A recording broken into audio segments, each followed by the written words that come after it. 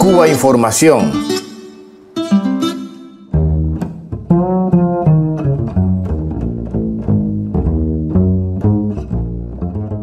Un texto de Ana María Raeli, periodista argentina radicada en Cuba, nos habla de dos escuelas que representan dos mundos antagónicos. La Escuela de Mecánica de la Armada, la ESMA de Buenos Aires, fue uno de los 500 centros clandestinos de tortura y exterminio contra militantes de la izquierda argentina durante la dictadura en los años 70. Más de 5.000 personas secuestradas, la mayoría desaparecidas, conocieron allí el infierno en la tierra. Hoy es el espacio Memoria y Derechos Humanos.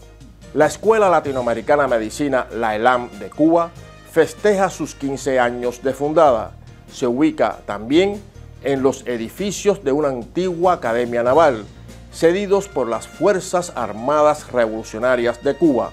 Tras los huracanes George y Mitch, que en 1998 devastaron Centroamérica, Fidel Castro creó este gran proyecto de solidaridad. El objetivo, formar becados por Cuba miles de médicos del continente con vocación de atender después a sus comunidades de origen. Hoy estudian más de 6.000 jóvenes de 117 países y más de 20.000 han sido ya graduados. Son dos academias con origen en una escuela militar, pero que representan dos mundos enfrentados. La ESMA, Fábrica de la Muerte. La ELAN, Solidaridad para la Vida y los Derechos Humanos. Aunque los medios internacionales sigan silenciando este ejemplo, uno más de los que brinda la humanidad la Cuba revolucionaria.